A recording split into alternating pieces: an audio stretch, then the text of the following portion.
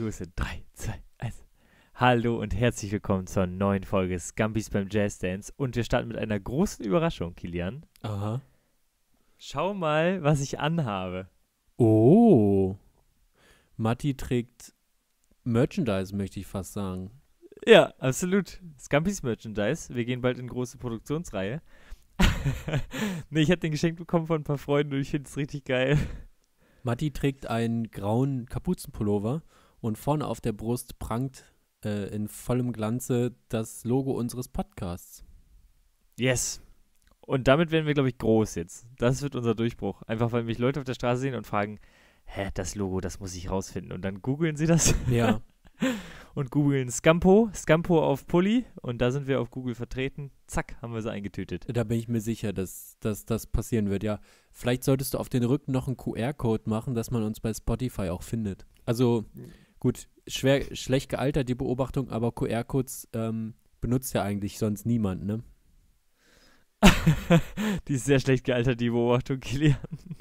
Ja, ja, gut. Je, jeder benutzt QR-Codes. Ja, ja, hast recht. Okay, äh, kommen wir direkt zu unserer. Wie geht's dir? ist, das eine neue, ist das eine neue Kategorie? Wie geht's dir? Ich weiß nicht. Ich wollte zu unserer ersten Kategorie überleiten, aber lass uns einfach mal, lass uns doch einfach mal darüber sprechen, wie es dir geht, Kilian. Dass wir gemeinsam das mal besprechen, wie es mir geht, ja, das wäre mir ein großes Anliegen. Ich habe ja in der letzten Woche ähm, im Podcast am Anfang gesagt, ich glaube, ich werde morgen krank aufwachen und hatte mich ja auch schon vorbereitet. Ich habe übrigens nicht nur in Vorbereitung Kekse gegessen, in der Annahme, dass das die nächsten Tage mir nicht schmecken wird, sondern ich habe auch die Wohnung geputzt, weil ich wusste, krank habe ich da keinen Bock drauf. Und dann bin ich wenigstens krank in einer sauberen Wohnung. Also ich war richtig gut Ja. vorbereitet. Und natürlich ist die Prognose auch so eingetreten. Ich war krank und jetzt ähm, geht so langsam wieder besser. Okay, ja, das war jetzt wahnsinnig uninteressant. Ja. Ähm, apropos. Du hast gefragt, da bist du auch einfach selbst schuld. Also manchmal, manchmal, Aber- die Sesamstraße hat ja uns gelehrt, wer nicht fragt, bleibt doof. Äh, manchmal bleibt man auch doof, wenn man fragt. Ja, ja, ich wäre gern doof geblieben. Aber Thema Putzen, ne? Ich habe an Staub einfach einen Haken dran gemacht. Also ich hatte einfach nicht geputzt. Also für mich interessiert, ich habe akzeptiert, dass Staub da ist. So. Und Mhm. zack, mein Leben hat sich um 180 Grad verbessert, weil ich nicht alle zwei Wochen Staub wischen muss. Ja. So. Ähm, ich habe auch einen Staubhaken dran gemacht, indem ich einfach einmal die Woche putze und dann ist Staub gar nicht so ein großes Problem. Nee, aber also ich meine, wenn man so Gleichgültigkeit für viele Dinge hat, das ist der Schlüssel zum Glück. Äh, Du meinst, Freude ist nur ein Mangel an Informationen, wie Nico Semsrott mal gesagt hat. Ja, gut, der ist jetzt depressiv, ne? Aber ähm okay, Ja. kommen wir zur ersten Kategorie. Also du Also, meinst, ist- du meinst, wenn man im Dreck wohnt, muss man einfach sich sagen, ja, mein Gott, ist halt Dreck, aber was kann der schon? Und dann lebt man einfach im Dreck weiter. Ja, nicht, also du musst das fühlen, nicht nur sagen, ne? Also ich, ich lebe jetzt auch nicht im Dreck, mal- ich habe nur an Staub ein Haar gemacht. Also Staubsaugen, ah, da beißt sich der Fuchs in den Schwanz, ne? Das heißt Staubsaugen. Den Staub lasse ich aus, aber alles andere sauge ich weg. Mhm. Wir, ver wir verrennen uns dann irgendwas. Kommen wir zur ersten hab- Kategorie. Ich habe viele Fragen, aber ähm, die sind für One-Liner. Cause I've only got a one. Matti. Ich möchte, dass du mal einen TED-Talk zu ähm, Wohnungsputzen machst. Kategorie One-Liner. Cause I've only got a one line. One line. Wie machst du das, wenn, ähm, wenn du jetzt Staub saugst und du lässt den Staub, aber lässt du liegen, oder wie? Nee, folgende Situation. ich habe, ähm, also man hat ja so, ich bin ja ein Deko-Mensch, ne? Ja. Ich bin ja ein Mensch, der hat hier so Bernsteine liegen. Alles, so- so alles etwas, was man, also was Staub anzieht, beziehungsweise wo man mal hinterherwischen muss. Wo man, kein, wo man keinen Spaß dran hat, wenn, wenn man da wischen will. Ja. Dann habe ich mir gesagt, wenn das jetzt einstaubt, dann staubt es halt ein. Und Staub ist für mich nicht mehr ein Problem. Also wie Luft atmen für mich kein Problem. Schwieriges Beispiel. Aber weißt Okay. du, es ist halt da und das ist okay, dass es da ist. Du, solange auch noch Luft da ist, ist es ja kein Problem. So. One-Liner. Cause I've only got a one line. One line. Oh, baby. Got a one line. One line, baby. Was haben wir heute mitgebracht für die Menschen, Kilian? Ähm, Matti hat, äh, Matti liest seine Nachrichten bei Instagram, habe ich gelernt, und habe einen Screenshot von ihm bekommen. Äh, aus, äh, von einer Meldung aus den USA nehme ich an, da, dort wurde ein Mann verhaftet, weil er seinen Hund trainiert hat, Menschen, die bei ihm klingeln, mit Ziegelsteinen zu bewerfen. also er hat so einen kleinen Kraftpakethund und der nimmt so einen Ziegelstein in den Mund und schmeißt damit auf Leute, die bei dem Mann klingeln wollen. So, das wirkt jetzt erstmal ein bisschen kurios, ist es auch. Aber der Hund war jetzt nicht am Boden und konnte sehr gut mit dem Mund werfen, sondern der ist immer auf so eine Mauer geklettert und hat von oben den Ziegelstein auf die Leute Ja. draufgeworfen. So, da wurde der Hund drauf trainiert. Was ich erstmal ziemlich funny finde. Äh, was ist deine allererste Punchline dazu? Äh, ja, ich habe überlegt, also der Mann ist ja jetzt verhaftet und im Gefängnis und kriegt ja auch dreimal am Tag Essen und so. Und da ist ja jetzt die Frage, aber was ist denn mit dem Hund? Und Mhm. ähm, ja, aber ich, wir können uns, wir müssen uns keine Sorgen machen. Der Hund ist auch versorgt. Der bereitet sich jetzt mit dem schwarzen Block auf den nächsten G20-Gipfel vor. Schön im Schanzenviertel. Mal gucken, wie weit man mit so einem Stein kommt, wenn da so ein Mercedes unten vorbeifährt oder sowas. Vielleicht auch einfach, dass man bei der nächsten Pegida-Demo in Dresden so, ein paar, so auf Journalisten dann die plumpsen lässt, die Steine. Wird ja auch gern mal gemacht. Vielleicht kann der Hund auch da helfen. Ich weiß nicht, wie er politisch gesinnt ist. Müsste man ihn mal fragen. es wirkt halt wirklich so. Ich habe einen ähnlichen Gag. Das eröffnet ganz neue militärische Möglichkeiten. Kampfhunde bewaffnen und niemand mehr muss, muss mehr in den Krieg. Ja. Sehr gut. Ich habe dann als nächsten Gag auch geil, dass der Hund etwas schmeißt und der Mensch es holen muss. Es holen muss? Naja, normalerweise wirfst du einen Stock und der Hund holt es. Und der Ach Stock, so. der schmeißt, Ah. der Hund schmeißt den Stein und der, der kann ja nicht da liegen bleiben. Der Besitzer muss den wieder hoch. Der, der muss den Stein apportieren. Ich habe gut, dass es gut, dass er keinen Elefanten hatte. Der hätte Dollar zugeschmissen. So. Oh, So. Und äh, ich habe als letzten Gag, immer wenn ein Paket kam, hat der Hund auch noch UPS, I did it again gepfiffen.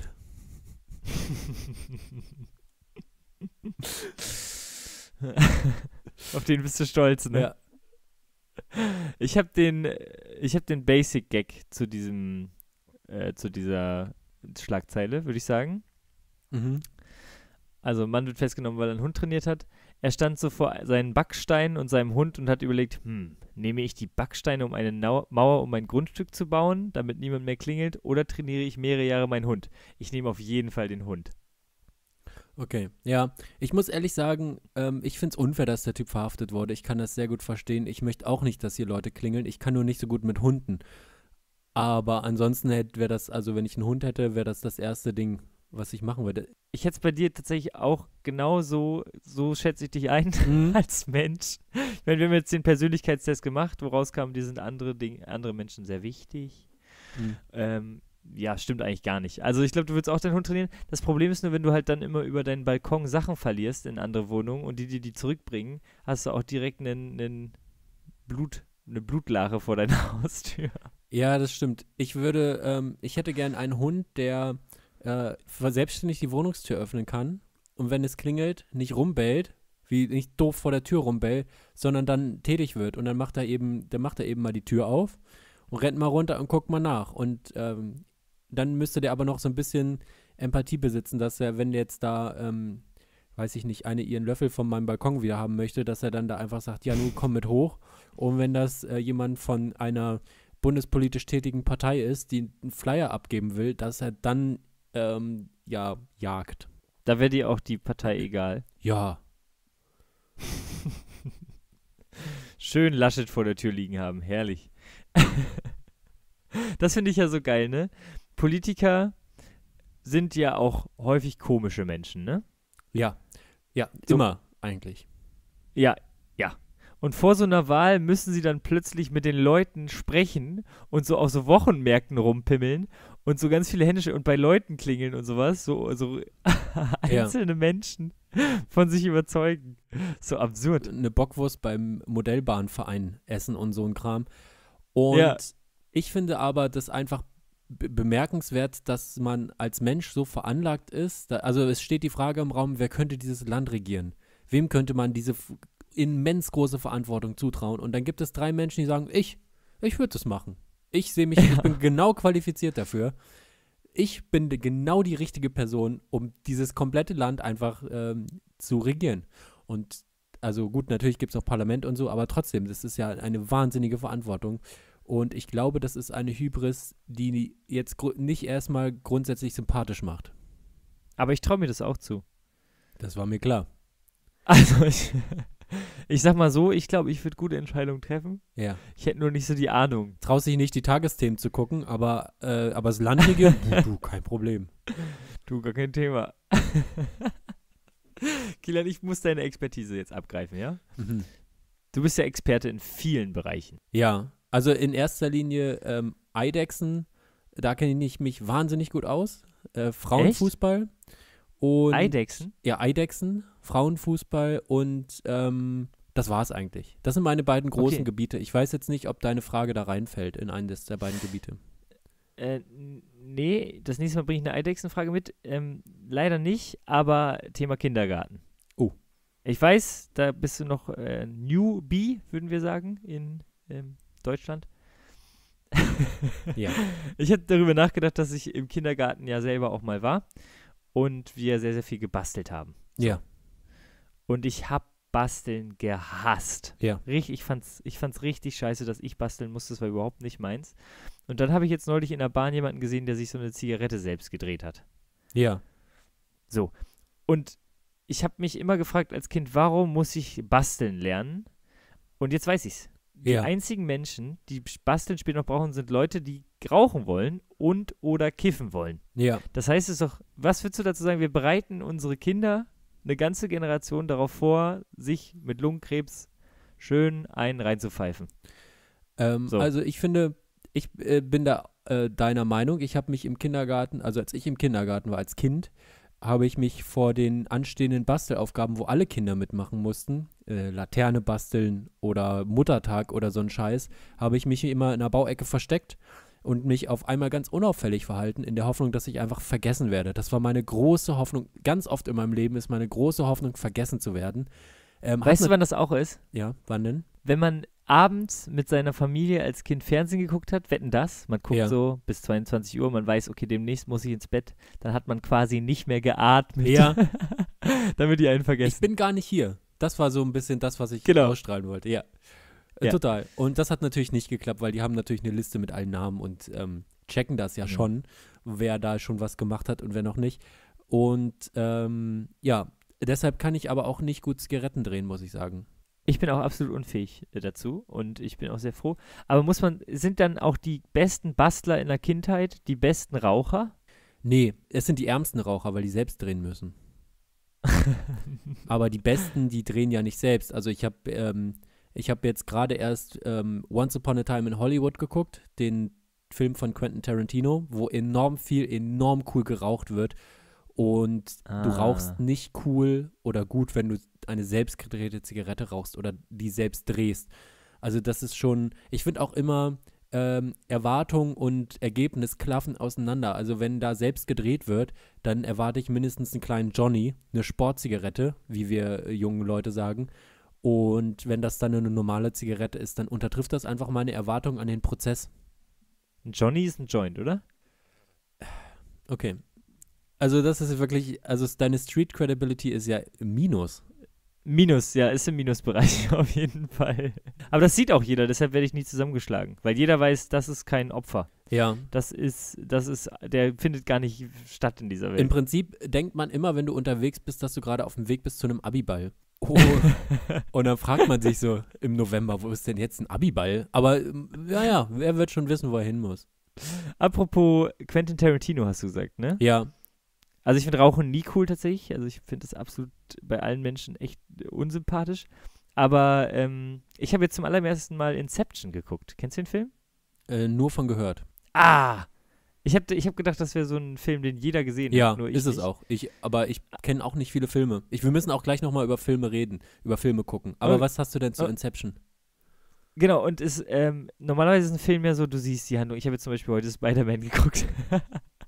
und du weißt von Anfang an, wer ist der Böse, was wird da passieren. Ach, echt, weißt du das? Ja, Mhm. das war relativ schnell äh, erschaubar. Und bei Inception ist es überhaupt nicht so. Du kommst in diesen Film und du verstehst nichts, gar nichts. Und ich habe den zum Glück mit zwei Freunden geguckt und eine davon hatte den schon mal gesehen. Das heißt, wir haben uns das hergeleitet zusammen und zwischendurch immer mal Pause gemacht. Aber wenn man den alleine guckt, man ist so unfassbar lost. Und ich glaube, man muss den erstmal dreimal gucken, um den überhaupt zu verstehen. Und da frage ich mich natürlich irgendwie auf eine Art Meisterwerk, aber irgendwie auch nicht, weil du verlierst ja ganz viele, du hängst ja ganz viele ab. Ich habe darüber viel nachgedacht, äh, nicht viel nachgedacht. Mir fiel es nur auf, äh, denn ich habe, ich habe mir vorgenommen, ich müsste mal mehr Filme gucken, weil ich ganz wenige Filme nur geguckt habe. Und deshalb habe ich zum Beispiel Once Upon a Time in Hollywood geguckt und gestern habe ich Red Sparrow geguckt äh, mit Jennifer Lawrence. Und ich habe das Gefühl, ich, man kann das trainieren, das Filme gucken. Und dadurch, dass ich so Mhm. wenig Filme gucke, ich weiß nie, was da los ist und wer da jetzt irgendwie böse ist und wer gut, das kriege ich manchmal noch hin, aber warum jetzt was passiert und so, also sagen wir so, wenn ich einen Film geguckt habe, in 80% der Fälle mache ich danach die Wikipedia-Seite von dem Film auf und lese mir die Handlung nochmal durch und denke dann, ach, das war da, das ist da passiert, ach, guck mal. Ah, jetzt ergibt es Sinn. Once Upon a Time in Hollywood, das ist irgendwie, wenn man den anguckt, das Flair ist total nett, so die 60er Jahre und ähm, es wird viel geraucht und die Klamotten und die Autos und so sieht alles toll aus und auf den ersten Blick gibt der Film gar nicht mehr her. Am Ende wird aber die, ähm, die Manson Family Geschichte erzählt auf eine Art äh, mit einem alternativen Ende, nämlich quasi mit dem Happy End statt dem, wie es in Wirklichkeit ausgegangen ist, zumindest in diesem einen Mordfall. Und das. Da musst du mich mal abholen. Du musst mich einmal abholen. Manson Family habe ich noch nie gehört. ach, okay. Mord. Manson Family ist so eine Art Sekte gewesen von Charles Manson, der, ähm, die haben einfach, ich glaube in, Ah. in Los Angeles, ich habe es hinterher gegoogelt, ich meine sieben oder acht äh, Morde, dafür sind die verantwortlich. Die haben auf so einem, auf so einem alten, auf so einer Ui. alten Ranch gewohnt und der Charles Manson, der hat selbst nie gemordet, er hat aber eben da diese Sekte angeführt und die Leute dazu gebracht, dass sie morden. Und Okay. äh, die haben in dem Fall eine schwangere Schauspielerin umgebracht, die eben in Los Aha. Angeles wohnt und in so einem, in dem Villenviertel da irgendwie in den Hills. Und äh, dieser Mord ist eben in dem Film nicht äh, stattgefunden, hat da nicht stattgefunden. Ich möchte jetzt nicht verraten, wie es ausgeht, man kann es bei Netflix gucken. Und diese ganze, diese ganze Backstory dazu und was, äh, es geht auch um, um die Western-Filmszene und um Spaghetti-Western, die, also die italienischen Western-Filme und so. Äh, das habe ich alles erst verstanden, als ich hinter den Wikipedia-Artikel durchgelesen habe. Genauso war es bei Red Sparrow, ein äh, Spionagefilm. Jennifer Lawrence äh, wird als, äh, ist Agentin für Russland und dann Doppelagentin und so. Und warum sie was macht und am Ende löst sich alles auf und sie ist die Kluge und ich denke, was hast du gemacht? Warum? Wie? Und dann habe ich den, auch da Wikipedia nochmal genau die Handlung von dem, was ich gerade gesehen habe, durchgelesen. Ah, und dann habe ich es verstanden. Und es gibt Filme, bei denen reicht nicht mal das. Also Birdman zum Beispiel habe ich geguckt und ähm, da habe ich nicht mal, als ich die Handlung durchgelesen habe, verstanden, worum es ging. Ja, und Inception ist dann auch noch so, du kannst das interpretieren. Du kannst dann auch die Handlung interpretieren. Aber da geht es so um Traumwelten und so und dann weiß man, also der Zuschauer weiß auch gar nicht so richtig, in welcher Welt man jetzt gerade genau ist und so. Also zumindest nicht immer. Mhm.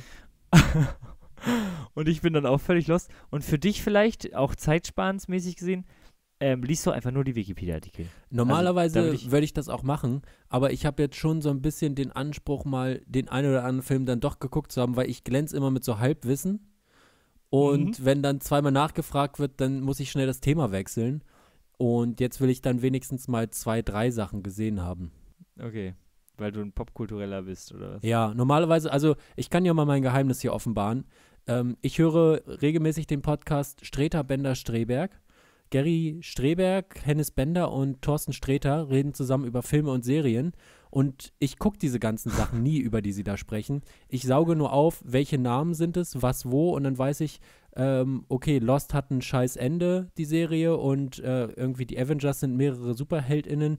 Und ähm, dann weiß ich irgendwie, Game of Thrones, äh, da, die Hauptperson tötet, ist immer tot und es geht um diesen Thron und so. Und dann weiß man, weiß man so ungefähr etwas. und das reicht dann, um sich durch so eine Konversation zu hangeln. Aber mehr nicht. Und die Filme selbst habe ich dann nie gesehen oder die Serien. Stell dir mal vor, niemand guckt die Filme und alle hören nur diesen Podcast. Das wäre geil.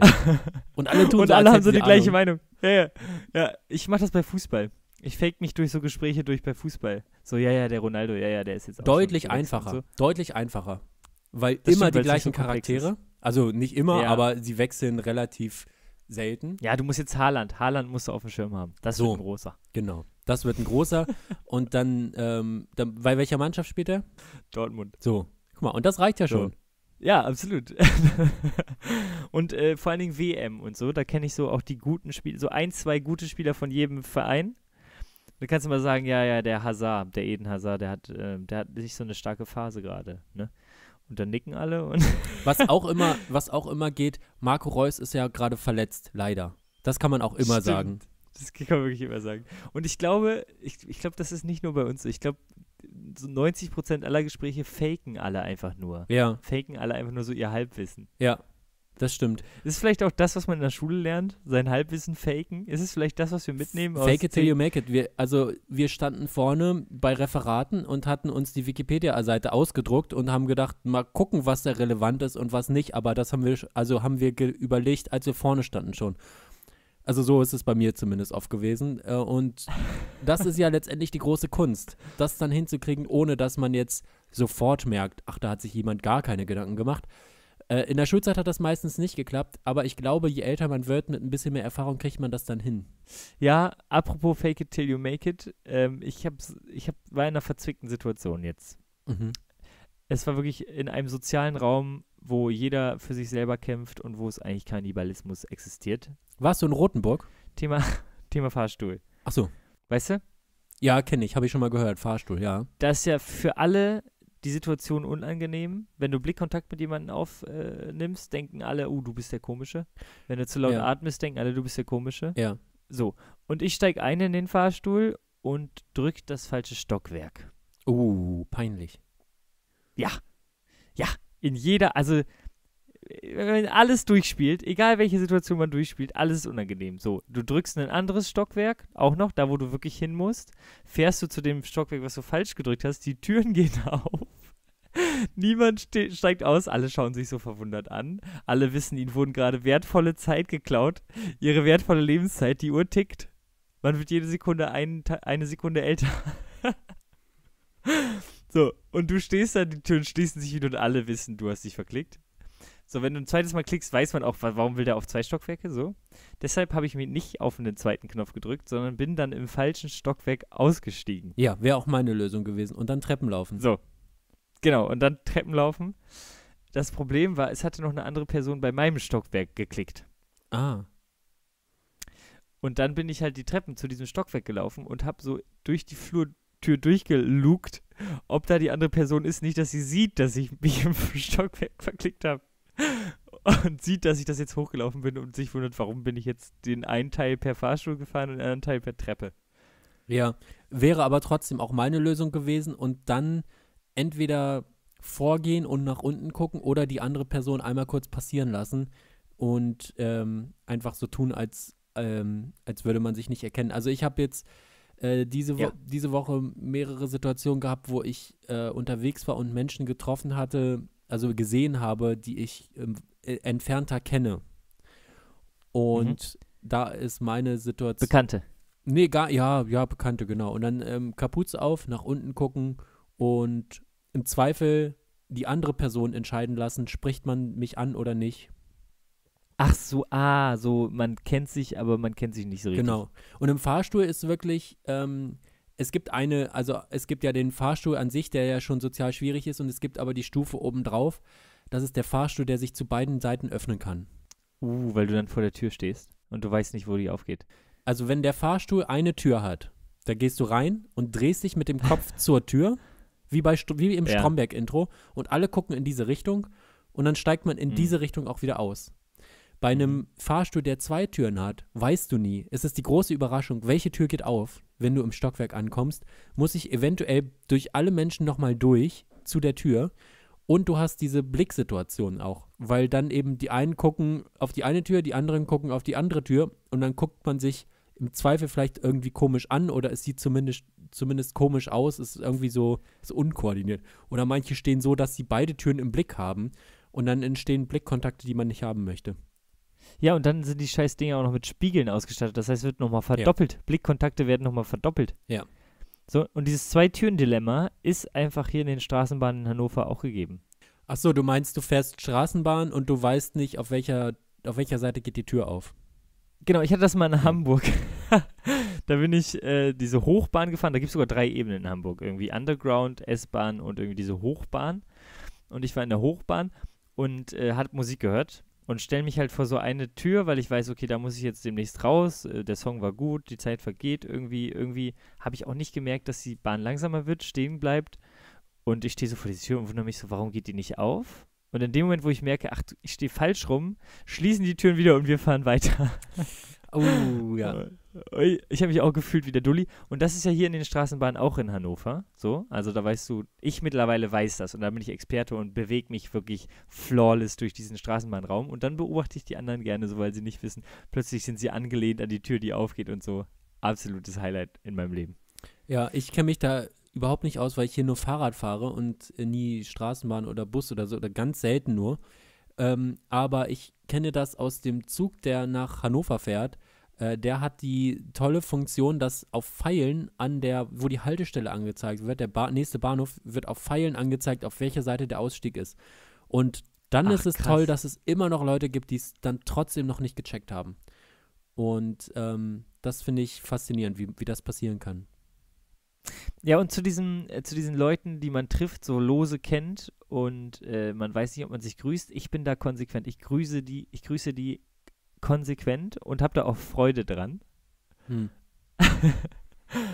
Aber ich kenne das auch, wenn man, ähm, wenn man ähm, sitzt oder so, oder sie nicht, nicht, wenn man nicht so nah aneinander ist und man nicht weiß, ist, also es gibt ja so eine Grüßdistanz. Ja. Also, ich sag mal, 20 Meter ist Grüßdistanz.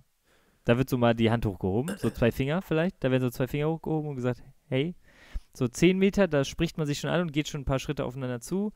Zwei Meter Umarmung. Oh. Nicht mit jedem. Aber jetzt, jetzt möchte ich einen Deep Dive hier machen. Und dieses Dive, Thema, das ja. beschäftigt mich. Denn ich bin dann immer die Person, die sagt, nope, ich kann das nicht, ich weiß nicht, äh, geht man jetzt aufeinander zu, macht man Smalltalk, grüßt man sich nur, äh, wie verhält man sich in dieser Situation? Man möchte nicht, dass die eine Person versucht, einen Smalltalk anzufangen und man selber ist schon weitergegangen. Man möchte das nicht andersrum. Ja. Das ist alles unangenehm und die Königsdisziplin des unangenehmen Seins ist es, du weißt, vor dir in die gleiche Richtung geht eine Person, die du kennst und du gehst dahinter und bist aber schneller. Ah, dann tippst du auf die Schulter. Klassischer Tipper. Nee. Da, also das ist, äh, da, dafür gehst du ganz anders um mit der Situation. Weißt du, was ich gemacht habe? Ich habe das diese Woche gehabt und bin, ähm, Okay. ich, es war an einer, an einer Straße und ich bin auf dem, hab gesehen davon, ah, ah die kenne ich. Und dann bin ich über die Straße gegangen, auf die andere Straßenseite, in einen Hinterhof rein, wo ich an der Parallelstraße wieder rauskomme und bin also einmal komplett durch den Hinterhof gegangen und auf der Parallelstraße wieder rausgekommen, um dann einfach zu flüchten. Also ich habe richtig, ähm, ich habe richtig, Also du äh, wirst zum Agent. Du, du wirst zum Geheimagenten. Ja. Du kennst dann Schleichwege, die andere nicht kennen und nutzt sie dann auch. Kriegst durch Kanalisation. genau, Einfach nur, um Leuten aus dem Weg Ja. zu gehen. ja. Das ist schon ziemlich gestört. Ich, ich habe zudem, weil wenn man, wenn man so den Kopf runternimmt im Supermarkt und nicht grüßt, finde ich, wirkt das sich auf die sozialen Beziehungen aus, wenn man sich dann im beruflichen Alltag oder wo auch immer wieder trifft. Nee, Findest du nicht? du musst es, dann kannst du es nicht gut. Du musst es rechtzeitig machen. Ich glaube, ich entdecke immer relativ schnell, wenn Bekannte irgendwo rumlaufen. Äh, und, Und dann versteckst du dich schnell, aber wenn sie dich sehen, bist du trotzdem, dass du weg, weggehst, weg. nee, wenn, also du wenn ich jetzt angesprochen, Ah, hey! wenn ich jetzt angesprochen werde, dann renne ich nicht. Also so ist es nicht. sondern, Kilian, ich sehe dich. Ciao, ihr Luschen. sondern meine große Hoffnung ist, dass die das gar nicht erst checken, dass ich da bin. Und ich sozusagen präventiv handle, indem ich mir die Kapuze aufsetze und nach unten gucke und die dann äh, Mhm. gar nicht erst wissen, dass wir uns getroffen haben. Und dann muss das auch später nie angesprochen werden, weil es weiß ja niemand.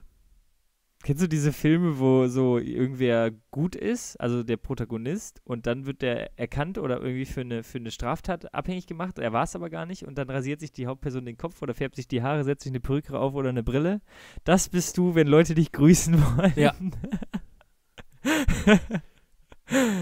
Auf einer Skala von 1 bis 10, ab welchem Freundschaftsgrad grüßt du? Ich würde sagen 8. 8. 8 bis 9. Würdest du mich, also würdest du mich grüßen? ähm, wenn wir jetzt, also wenn es sich nicht vermeiden lässt, ja. Wenn du jetzt in einem Rewe City stehst, bei, ähm, bei der Milch An der Kasse. Mhm. und ich stehe noch vorne bei den Broten und da stehe ich, ich sehe, da Ja. stehst du, dann würde ich nicht zu dir Aha. hingehen. Bin ich ganz ehrlich, würde Nein? ich nicht machen. Nö. Ach, krass. Aber ich weiß was, ich, ich bin ja sehr, sehr groß. Ich sehe alles. Ich sehe auch, wenn andere Personen sich vor mir wegducken. Und ich bin dann nämlich der Anti-Agent, der dann hinter über, über, die Brot, über die Brote auch slidet und dich so an der Schulter packt und sagt, hey Kilian, schön dich zu sehen. Bist du auch einkaufen? Ich bin ja König im Smalltalk. Ja. ja. Ich laufe auch wirklich bei jedem Smalltalk Gefahr, irgendwie so offensichtliche Sachen zu sagen. Sowas wie im Flugzeug. Fliegt ihr auch nach Paris? Äh, nee, nee, wir wollten auf der Mitte abspringen. Oder dieses ist ganz schön warm heute, wo ich auch denke, nee, also ja, es ist warm, ja, aber was, also das muss man jetzt nicht nochmal sagen. Ja, da müsste man vielleicht einführen, dass man einfach sagt, schwitzt ja auch ganz schön, nech? Und dann ist es sowieso unangenehm. Dann ist für beide unangenehm, der Smalltalk. Das macht's besser? Ja. Ja, besser beides unangenehm als nur einer, oder? Also ich bin da wirklich die Taktik äh, ausweichen. Ich bin wie Pac-Man und versuche den möglichen Begegnungen aus dem Weg zu gehen und dann äh, andere Wege einzuschlagen. Und dann dachtest du, Braunschweig ist ein guter Ort, wo man jetzt, wo, also es ist ja relativ klein. So klein ist es gar nicht, wie du es machst. Auf dem Dorf kennt man sich ja eh. Und ähm, ja, eigentlich kennst du doch auch die Kassierer mit dem Namen. Also ich wohne auf der anderen Seite der Stadt, ähm, äh, als die äh, als die Kita ist, mit Absicht, damit ich damit ich da äh, Damit also du die nicht grüßen musst. in meinem Kenny, Penny ist da niemand von denen. Du nimmst wirklich eine halbe Stunde Anfahrt zur Arbeit in Kauf, nur um niemanden grüßen zu müssen. Naja, einmal durch die Stadt ist in Braunschweig eine Viertelstunde mit dem Rad, also das ist jetzt okay. Ja, habe ich mir gedacht, habe ich mir gedacht, dass das nicht mehr ist. Aber ich habe zum Beispiel äh, eine längere Zeit, ich glaube, es war am Ende fast ein, ungefähr ein halbes Jahr, habe ich in einer Schulkindbetreuung gearbeitet, in einer Dorfgrundschule, in einem Vorort von Braunschweig. Mhm. Und ähm, dann kennt man da natürlich fast jedes Kind. Und das führt dazu, dass ich wirklich, also mittlerweile geht es. Ich war länger, habe da länger nicht mehr gearbeitet, weil ich damals so eine Honorarkraft war vor der Ausbildungszeit und in der Ausbildungszeit. Das ist ja jetzt vorbei. Ähm, und mein letztes Engagement da ist auch schon länger her. Mittlerweile würde ich mich wieder durch das Dorf trauen, aber es hat wirklich dazu geführt, dass immer, wenn ich da war, wurde ich erkannt von Kindern. Und ähm, das Ah. ist natürlich dann nicht nur, dass es irgendwie sozial unangenehm ist, das ist da gar nicht dann so bei Kindern, die grüßen halt und man grüßt zurück und so und man macht nur mal einen dummen Spruch und dann Ja. passt das schon. Aber das ist natürlich, ich bi- bin da dann sofort im Arbeitsmodus. Ah, dann denkst du, ach, ich, ich brauche ein Kissen. Ich brauche ein Kissen, um die niederzuschlagen. So. Schneeballschlacht. Ja, wo wir schon über Braunschweig geredet haben. Ich war, wie gesagt, in der Stadt unterwegs und ich habe wirklich die Trostlosigkeit auf ein neues erlebt. Ähm, ich war schon länger nicht Mhm. mehr in der Innenstadt von Braunschweig. Und ähm, ich bin zu Fuß hingegangen, das dauert ungefähr 20 Minuten und habe unterwegs gesehen, erstmal eine Hochzeit mit einer gemieteten Limo. Und zwar so eine weiße, Geil. lange Pickup-Limo. Oh, da war auch eine Stripstange wahrscheinlich im Auto. So sah das aus. Ähm, und ich habe jetzt die Faustregel aufgestellt. Für Hochzeitsfeiern gilt, je länger die Limo, desto kürzer die Ehe. Oh. Stimmt wahrscheinlich. Es gibt doch den Spruch, Liebe vor Leuten hat nichts zu bedeuten. Und wenn man das so groß feiern muss, dass man jetzt sich die Liebe eingesteht und dass man da mit so einer Limo, das wirklich, also jeder Depp in der Stadt das sieht, fremde Menschen sehen, da hat jemand geheiratet, das finde ich bedenkenswert. Also ich stimme dir nur so halb zu, weil ich hätte gern mal so eine Limo. Ich bin 1,96, einfach mal für Bein Beinfreiheit. Damit Ja. ich einfach mal in einem Auto meine Beine ausstrecken kann. Gut, ja. Aber du könntest So. dann, also wenn du dann äh, oben das Dachfenster aufmachst und um mal rauszugucken, dann äh, guckt auch dein kompletter Rumpf raus. Also es ist ja dann bei dir auf Kniehöhe fast das, das Fenster. Kilian, das habe ich einmal in meinem Leben gemacht. Wir hatten äh, so ein Dachfenster, so ein Panoramadach. Ja. Und ich war in Dän Dänemark unterwegs Natürlich. und wir waren im Auto. Und da haben die so eine Abi, Abi, ähm, Tradition, dass sie sich einmal so einen Wagen mieten, so einen riesengroßen Laster, wo hinten eine Fläche drauf ist, wo Musik dann äh, gespielt wird und gefeiert wird und getrunken wird. Und die haben auch so eine Tradition, dass die Person, die am meisten getrunken hat, ein Leibchen trägt. Also die machen immer Strich, wie viel sie getrunken haben und die Person, die da am meisten trinkt, hat ein Leibchen. Das gelbe Höchst Trikot. bedenklich. Das gelbe Trikot, absolut. Höchst bedenklich, weil dann einfach alle um diese Krone saufen, was natürlich, naja, gefährlich ist. Bisschen funny, aber auch gefährlich. Und da haben die die Tradition, wenn ähm, ein Junge irgendwie gesehen wird, der, der die grüßt, äh, müssen alle Mädels den Arsch aus dem Anhänger strecken und andersrum, also wenn ein Mädel gesehen wird, was den grüßt, müssen die Jungs den Arsch aus dem Hm. Anhänger strecken. Und dann dachte ich, ja, die Skandinavier haben schon vieles richtig gemacht in ihrem Sein. Ja. Das fand ich komisch. Das fand ich sehr suspekt. Da sind sie falsch abgebogen einmal, ne? Und das machen alle da. Also das war ganz so ein Laster mit Pros. Fand ich eine ganz komische Situation. Weiß ich nicht, will ich auch nicht mehr wieder haben. Passiert aber in Dänemark häufiger. Ja, ja. Ein Laster voller Ärsche, ne? Oder wie man bei der AfD sagt, Wahlkampfbus. Ich würde sagen, das ist unsere, unser Folgenname. Laster voller Ärsche. Äh, dann bin ich äh, in der Stadt noch auf einen Mittelaltermarkt gestoßen. Das ist Oh, immer, geil. das ist immer die, also das ist, finde ich, die Königsdisziplin der Traurigkeit, wenn man da versucht, so einen Innenstadtplatz mit Heu auszulegen und in so einen, ähm, ja, Was? in so Nein, komischen Nein, nein. Mittelaltergewändern da hinkommt und denkt, jetzt bereit, verbreiten wir hier Flair. Das hat Ja. irgendwie was von, ähm, ja, alles von, von Pappmaché und ähm, wirklich tiefer Bedeutungslosigkeit im Leben, finde ich. Na, ein Morgenstern ist doch geil. Und dann kann man sich da an einem Stand irgendwelche Lederarmbänder oder sowas äh, kaufen und man kann mal Ja, mit dem Bogen schießen oder so. Das ist, ah, auch mal altertümliches Essen essen, sowas wie Pommes oder irgendwie so ein, so ein Ja. Steakbrötchen oder so. Das Ja. finde ich gut. das finde ich äh, total traurig und ähm, ja, und dann auch, auch aus einem Humpen zu trinken. Ich glaube, man trinkt da aus Ein Humpen, ja. Humpen. Ich würde gern mal, Kilian, ich würde gern mal aus einem Horn trinken. Einfach Ja. weil die, die Wiki haben es durchgespielt. Das konntest du nicht abstellen. Das ist äh, Bierkulest Challenge. Kennst du das aus Heu mit dem Ja, Honor? ja. Wo man sich beide, und du musst einfach zwei Hörner in die Hand nehmen, hast du das gleiche, brauchst nur kein Ducktape. Äh, um die Leute abzuholen, die es nicht kennen, da wurden sich äh, Bierdosen an die Hände getaped, sodass man die nicht mehr loslassen konnte und dann hat man zwei Hä- Bierhände einfach.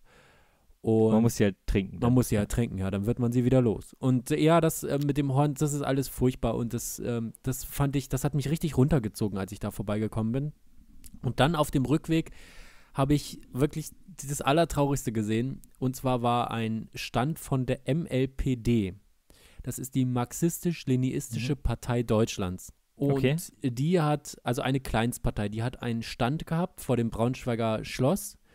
Äh, und da war so ein, so ein kleines Zelt aufgebaut, so ein, so ein Partyzelt. Und darunter war ein Typ mit Gitarre und der hat irgendwelche linken Lieder gesungen. Und der Das hat immer so, Traurigste? der hat immer so getan, als hätte er Publikum vor sich. Und hat dann auch zwischen den Liedern Ansagen alle. gemacht. Und es stand aber niemand da. Es waren nur Leute, die da halt über die Nein. Ampel gegangen sind, aber die ihn auch überhaupt nicht beachtet haben und sich weiter unterhalten haben. Und der hat einfach so ins Nichts seine Lieder getrellert. Und äh, da habe ich wirklich gedacht, dann muss man doch einfach mal anders ansetzen, politisch vielleicht, wenn das jetzt das Ergebnis der MLPD im Wahlkampf ist. Und hat funktioniert? Äh, Ist der, kehrt der Kommunismus wieder ein? Äh, also in dem Fall hat wirklich dadurch, dass es ja wirklich vor einem Einkaufszentrum war, eindeutig der Kapitalismus gewonnen. Die Leute sind mit ihren Einkaufstüten an dem Stand vorbeigegangen und haben freudig den nächsten Laden aufgesucht, um dort wieder Geld auszugeben für Dinge, die sie wahrscheinlich nur bedingt brauchen. Und er hat da seine, seine kommunistischen Lieder getrellert ins Nichts. Also da hat wirklich der Kapitalismus gewonnen. Ich muss sagen, gutes Marketing von der Partei der Grünen. Die haben Sonnenblumen verteilt. Nicht mal scheiß Flyer, einfach eine Sonnenblume. Finde ich gut, kannst du Das ist doch hinstellen. auch deren du Logo. dich. Also ist ja jetzt nichts. Die, die, die SPD verteilt seit 100 Jahren schon rote Rosen. Aber der, das ist ja nicht deren Logo. Ja, rot, aber ist ja schon deren Logo. Und AfD verteilt, verteilt Pfeilchen, aber nicht die Blume, sondern blaue Augen. So, nämlich. So, so nämlich. Boah, das war ein Politik- und ein Farbengag. Jetzt ist aber hier. Meine Herren. Kilian, es schließt sich ein, ähm, ein Faden. Ein großer Erzählfaden dieses Podcasts. Mhm. Eine große Ära geht zu Ende. Zu Ende. Ja, sie geht zu Ende. Das Buch äh, des Lebens hat es geschrieben. Ähm, wir haben lange drauf gewartet. Ich habe das Guinness World Record Buch endlich erhalten. Oh! Für Leute, die Folge ist es- 2 nicht gehört haben. Also, Matti hat vor ungefähr einem Dreivierteljahr oder so eine, äh, das Ja. ist gar nicht mal gar nicht mal übertrieben, ne? Es könnte wirklich ein Dreivierteljahr Nee.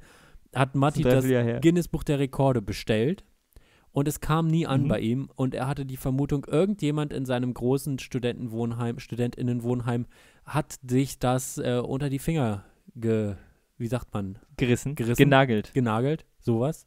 Ja. Ähm, und wie ist es wieder aufgetaucht? Woher kommt es? War Jan-Josef Liefers in, in der Rolle als Inspektor Börne daran beteiligt? Ich würde tatsächlich gerne das nochmal verfilmen, weil ich weiß Tatort es nicht. Hannover. Ich habe ich hab keine Ahnung, wie ein Buch drei, ein Dreivierteljahr später dann, äh, das Paket war auch noch, war noch eingepackt. Also so. irgendwer hat wirklich ein Dreivierteljahr dieses Paket bei sich liegen gehabt, hat dann irgendwann gedacht, ach, das ist ja gar nicht für mich. Aber wieso sagst du so Und- irgendwer? Also weißt du nicht mal wer? Es wurde an die Hausleitung gegeben und die hat es dann an mich gegeben. Dann hätte man nicht unten einfach auch klingeln können. Ja, genau. Ach, du meinst, die Person hat es selber bei mir. Ja, aber nach einem Dreivierteljahr weiß ich auch nicht, ob man dann, ne, also Aber das hätte man ja auch. auch nach einer Woche schon machen können. Das hätte man nach einer Woche, das wäre tatsächlich möglich gewesen. Ähm ich kann aber auch verstehen, warum die Person das wieder abgetreten hat, dieses Buch, weil es ist sehr traurig. Ich, ich finde es ja, ist die perfekte Klolektüre. Und dann liest man irgendwie, wofür die Leute ihr Leben eingesetzt haben, wo, wofür sie jahrelang trainieren für irgendeinen Weltrekord, die meisten, den meisten Senf in 30 Sekunden gegessen, Kilian. Wie viel ist das? Wie viel Senf hat die Person gegessen in 30 Sekunden? Ein Liter? Oh, dann kannst du den herausfordern. Wenn du das kannst, kannst du den herausfordern. Ein halbes Kilo Aha, hat er einfach weggezogen. das ist viel. Und jetzt komme ich immer traurig vom Klo, weil ich mir denke, boah, sowas machen Menschen. Das ist dieselbe Trauer, mit der ich vor diesem Mittelaltermarkt stand. So ein richtiges, ach, das ist jetzt euer Ding hier. aber Mittelaltermarkt ist cool. Das ist ja eine Leidenschaft, die, die, wo man, wo man, wo ich Interesse für habe. Aber toll, du bist der Mensch, der am schnellsten einen halben, halben Kilo Senf gegessen hat. Für mich ist es tatsächlich eine Kategorie, aber ich verstehe das schon sehr gut. Da würde ich auch jetzt nicht denken, ach wow, toll, was der Mensch alles leisten kann, sondern äh, wa- was ist denn bei dir falsch, dass du das machen musst, ja. Und ich habe noch eine kleine Sache gesehen, die ich sehr, sehr lustig fand. Ich arbeite ja in der Mar- Marketingbranche und ich habe auf Instagram durch Zufall einen Kanal ähm, gesehen und er ist großartig. Schaut ihn euch bitte an. Phil Swift heißt er. und der Typ hat einen sehr, sehr guten Kleber, mit dem man Löcher stopfen kann, ähm, erstellt. Irgendeinen Tape oder so. Aber man, also es kann wirklich äh, Sachen gut stopfen und wieder dicht machen quasi. Und der macht jetzt immer Sachen auf die absurdeste Weise kaputt und klebt das dann wieder zu. Also er hat auf ein Boot eine Kanonenkugel geschossen, hat es dann wieder zugeklebt, hat sich ins Boot gesetzt, ist damit rumgepaddelt, hat gesagt, kauft meinen Kleber. Und es ist großartig, es ist großartiges Marketing, also schaut euch das gerne an. Okay. Ja, Phil's, Phil Swift. sehr gut. Machen wir. Hast du sonst noch etwas mitzuteilen an die Bevölkerung da draußen? Ich dachte mir, so eine Kanone Ja. ist ja jetzt erstmal was, ähm, wo man schlecht drankommt. Ja. Und dafür braucht man Kontakte zum Mittelaltermarkt. Just saying. Wenn die wenigstens Kanonen hätten auf dem Mittelaltermarkt. Haben die nicht? Die haben Pilzpfannen, Lederarmbänder und Humpen. Ich finde es auch historisch einfach inkonsequent umgesetzt. Also man kann jetzt nicht sagen, wir machen einen großen Mittelaltermarkt und geht dann auf eine Toilette. Das kann ja nicht sein. Also da muss man, ich finde, man muss all in gehen. Entweder man verzichtet dann auch auf die Kanalisation und sagt, wir wollen jetzt dieses Zeitalter leben. Und, oder man sagt, nee, komm, Waff ist vielleicht eine scheiß Zeit auch gewesen. Äh, lass uns mal impfen gehen und äh, Fanny frisch ungarisch essen. Aber dann noch Pocken, gegen die Pocken geimpft. Das, das verteilen sie noch auf Mittelaltermärkten. Ja, leider ja Oder nicht gegen die das. Pest. Okay, Kilian, vom Mittelalter in die Neuzeit. Wie stehst du zu Sprachmemos? Oh Gott, Matti. Also, als die Sprachmemos aufkamen, ich greife kurz zurück historisch, wir waren ja eben schon beim Mittelalter, Mhm. als die Sprachmemos aufkamen, habe ich die Politik gefahren, ich höre mir die nicht an. Scheiß drauf, wer mir das Ach. schickt. Ich schreib's mir oder so wichtig kann es nicht sein. Hast du zurückgeschrieben, ey, ich Nö, will keinen ich habe einfach Podcast nicht hören? geantwortet. Nix. Kam keine Reaktion. Ach, Ich habe die im Raum stehen lassen und manchmal hat dann die Person nochmal geschrieben, äh, wegen der Memo, kannst du heute Nachmittag? Und dann habe ich geantwortet oder es war halt nicht so wichtig und ich weiß bis heute nicht, was da kam. Und das habe ich so lange Jetzt durchgezogen, bis sich in meinem Freundeskreis rumgesprochen hat, dem müssen wir schreiben, da können wir keine Sprachnachricht schicken. Weil ich gesagt habe, entweder du schreibst es mir, du kannst auch die Diktierfunktion benutzen. Jedes Handy hat eine Diktierfunktion, aber dann kann ich es eben schnell lesen und muss mir nicht dieses Gequake anhören. Schwierig aus einer Position, wenn man einen Podcast macht, ne? Egal. Trotzdem Absolut. habe ich keinen Bock drauf. Und dann ist irgendwann kam eine Sprachmemo nach der anderen und dann habe ich gesagt, habe ich mir eine mal angehört und dann habe ich gedacht, scheiße, jetzt ist der, der Bann ist gebrochen, der Vorhang ist gefallen. Wer war das? Das Wer kann ich nie, das Wer, kann ich nie wieder zurücknehmen. Äh, das war eine, ah, eine ganz äh, liebe Freundin. Äh, und ja, sie hat dann eben diesen Bann gebrochen. Und seitdem habe ich immer noch die, also wenn in Gruppenchats Sprachnachrichten kommen, höre ich mir die immer noch nicht an. mhm. Und ich antworte aber auch immer mit Text eigentlich. Also, dass ich mal eine Sprachmemo mache, das ist wirklich die absolute Ausnahme. Hat sich denn die Sprachmemo gelohnt, die du dann zum allerersten Mal gehört hast? Es war wirklich ein, ein Inhalt, möchte ich sagen, der sich nur schwer in, in schneller, kurzer Zeit als Text zusammenfassen ließ. Deshalb war es okay. Ich habe sie schon verstanden, warum sie das gemacht hat. Äh, entzückt war ich trotzdem nicht. So, und da bin ich sehr auf deiner Seite.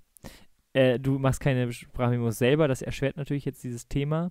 Aber ich finde, wenn man Sachen sagt, die nicht in Text zusammenfassbar sind, dann ist eine Memo cool. So, Thema zweisekündige Sprachmemos. Neunsekündige Sprachmemos. Auch 15-sekündige Sprachmemos sind nicht akzeptabel. Das möchte ich hier jetzt mal ein für alle Mal formulieren und als Gambis beim Jazzdance auch mal diesen Trend anführen. Macht keine 5-sekündigen Sprachmemos. Schreibt das. Schreibt okay einfach hin. Oder so ein Jupsi.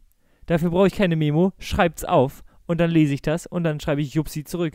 Aber doch nicht als zweisekündige Sprachmemo. So, und jetzt ist Jupsi? mir was untergekommen. Ja, für ja, für ja Jupsi. oder Mhm. bin dabei. Ja. Das war jetzt das, was sich daran gestört hat, Ja. an, an meiner Ausführung. Ich dachte, du bist Teil dieser, dieser Bewegung. Ja, ja, bin ich auch, bin ich auch. Ich bin inhaltlich bei dir. Wir sind ja Fahnenträger in dieser Bewegung. So, und jetzt ist mir das Allerschlimmste untergekommen. Da wurden nämlich zwei, die zwei schlimmsten Sachen gemischt, die mit Sprachmemos sind. Kurze Sprachmemos haben wir gerade geklärt. Absolut, absolutes No-Go. Oh, darf ich das zweite raten, was bei einer Sprachmemo überhaupt nicht geht? Ja. Terminabsprachen. Nein. Okay. Noch schlimmer, aber da müsste ich dir zustimmen, Terminabsprachen und Adressen. Adressen Oh ja, müssen ja. geschrieben werden. Ja. Es ist das allerletzte. Oder irgendwelche Worte, wo du nicht weißt, wie sie geschrieben werden, die du aber googeln musst. Ah, Also Nee, wir, haben, wir haben wirklich Jahrhunderte Fortschritt in der Informatik, dass man, wenn eine Adresse geschrieben wird, einfach nur auf die Adresse klicken muss und sie einem in einer äh, der zur Verfügung stehenden Map-Apps angezeigt wird. Und ihr torpediert das mit euren verkackten Sprachnachrichten. Da kann man ruhig auch mal das so deutlich sagen, dass das überhaupt nicht So. geht. Und wer kann sich bitte eine Postleitzahl merken, wenn sie ihrem, wenn sie per Sprachnachricht gesagt wurde? Furchtbar, geht überhaupt nicht. Ich kann mir nicht meine Hausnummer merken.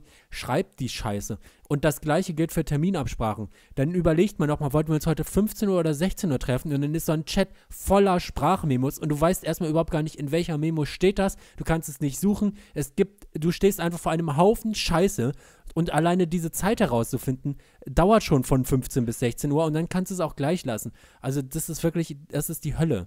So, ich finde schön, dass sich der Hass jetzt hier gerade überträgt. Und du bist ja auch eigentlich der, der Hassende in diesem Podcast. Finde ich gut, dass du die Rolle wieder übernommen hast. Danke. Ich werde jetzt, ich werde jetzt nochmal den zweiten Punkt erläutern.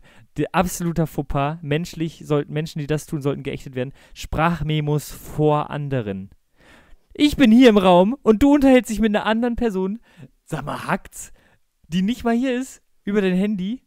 Also, dann schreib das, aber quatsch doch nicht die Person vor mir voll.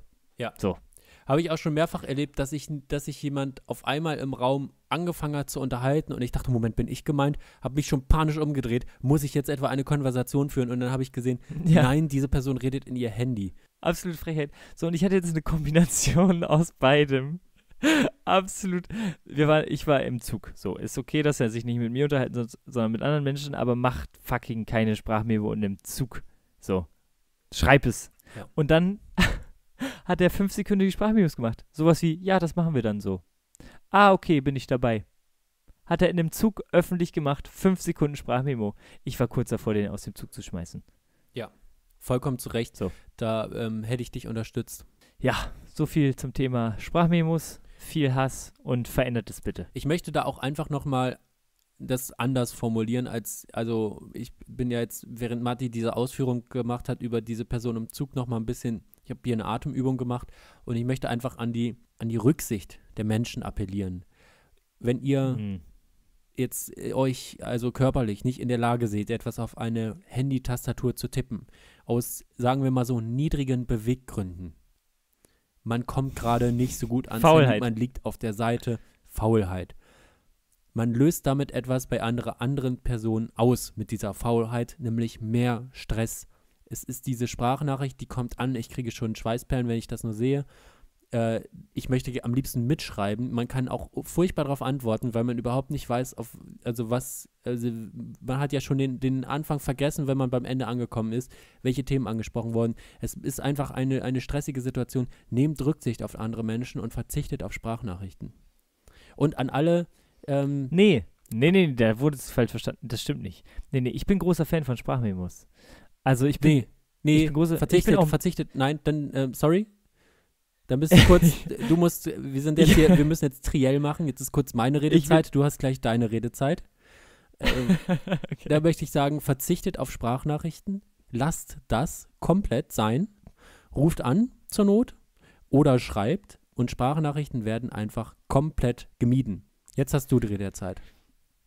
Also ich bin ja, verstehe mich nicht falsch, ich bin großer Fan von Sprachmemos. So, es gibt einfach, wir sollten den, äh, den Regelkatalog fertig machen. So, der sagt hier keine Adressen, keine, keine Uhrzeitabsprachen, keine ab, ab 30 Sekunden ist eine Sprachmemo okay. So, nicht vor anderen. Zack, das Regelwerk steht. Ansonsten bin ich großer Fan von Sprachmemos und schick auch gerne Sprachmemos. Und da bin ich ja Performer, ne? Das ist eigentlich der kleine Pod der Podcast des kleinen Mannes. Der Podcast ist der Podcast des kleinen Mannes, weil jeder kann einen Podcast machen, aber die Sprachmemo ist der kleine, kleine Podcast des kleinen Mannes. Mhm. Und, und da performe ich tatsächlich. Ich höre mir auch gerne meine Sprachmemos nochmal an, weil ich denke, Mann, da hast du wirklich wieder eine pack pack packende Story Du erzählt. hörst dir deine eigenen Hammer. Sprachnachrichten an. Ja, weil ich nochmal, weil ich nicht weiß, ob ich viel Scheiß erzählt habe. Insofern ist es ganz gut. Ja, und das alles, das, wenn man jetzt tippen würde, da könnte man das Ja. alles in dem Textfeld nochmal nachgucken und müsste die andere Person gar nicht mit der Scheiße belästigen, von der man schon selbst genervt ist. Da kann man sich das Ja, nochmal durchgucken, dann sieht man nochmal, ah, das ist jetzt irgendwie unnötig, das lösche ich mal raus, ich habe hier was vergessen, das schreibe ich noch dazu. Das sind alles Dinge, wo das Textfeld einem diese editorischen Möglichkeiten gibt, die die Sprachnachricht nicht hat. Ja, zwei Dinge. Ich lese unlieber, als dass ich Sachen höre. Auch, Und also warum? Lesen geht viel schneller. Und man kann lesen überall. Wenn eine Sprachnachricht im Zug ist einfach ein Pain in the Ass, wenn man keine Kopfhörer zum Beispiel dabei hat oder in der Straßenbahn oder man ist irgendwie in einer lauten Umgebung. Man kann eine Sprachnachricht nicht mal eben schnell unterm Tisch abhören, wie man das in der Schule gekonnt hat mit den SMS, die man damals mit Aldi Talk hin und her geschickt hat. So eine WhatsApp, die liest sich schnell unterm Tisch, man weiß, worum es geht, man kann schnell antworten, getippt. Das geht einfach ein bisschen, bisschen ruhiger und sorgloser und in jeder Situation. Und so eine Sprachnachricht, die ist dann einfach scheiße. So, und da unterscheiden wir uns auch beide einfach in der Kommunikation. Bei mir geht Kommunikation über den reinen Inhalt hinaus, Kilian. Ich bin ja ein Nee. Mensch, der einfach Emotionen rüberbringen will, der einfach mit Menschen tief, tief verbunden sein will in der Kommunikation. Und bei so einer Sprachmemo merkt man ja die Gefühlsregung, ob einem, ob es einem wirklich gut geht oder ob man auch wirklich gelacht hat. Hier diese Lachsmilies mit den Tränen in den Augen. Man hat nicht wirklich gelacht zu Hause im Bett. Und erst Bullshit. recht nicht mit Tränen in den Augen. Das ist doch So. das Tolle. Man kann das alles vorgeben. Das ist wie Popmusik. da Nein, werden das ist- Emotionen vorgegeben. Die kann man, man kann ganz schnell, ohne größeren Aufwand, eine soziale Konversation, äh, Konvention befolgen, indem da ein mäßiger Spruch kam, man schickt einen Lachsmiley, man braucht keine schauspielerischen Talente. Äh, das kann sich, kann man alles schön verschleiern in einer geschriebenen Nachricht. So, und ich fordere die logische, nächsthöhere mediale Revolution. Videonachrichten, Leute. Auf Das gar WhatsApp, keinen Fall. wenn das wird sowas von. Nein. Nein. WhatsApp, wenn ihr zuhört, ne, führt das ein. Das war's von mir. Ciao. Also da möchte ich noch mal ganz kurz sagen, ich bin überhaupt nicht, der Matti lehnt sich schon zurück, er hat gedanklich schon Feierabend. Es ist wirklich eine Stinkbombe in den Raum gehen und rausla rauslaufen. Ähm, lieber Herr Zuckerberg, wenn Sie das einführen, dann komme ich aber ganz persönlich mit diesem, mit dem Steine werfenden Hund, komme ich mal zur, zur Unternehmenszentrale vorbei und dann gucken wir mal, wer hier, wo der Hamster seine Locken hat. Diese Scheiße wird auf keinen Fall eingeführt. Wenn ich auch nur, wenn das irgendwann kommt und ich kriege auch nur eine Videonachricht, dann kotze ich im Strahl das ganze Handy voll und zwar von dir, die mir diese Nachricht geschickt hat. So, Bussi Baba.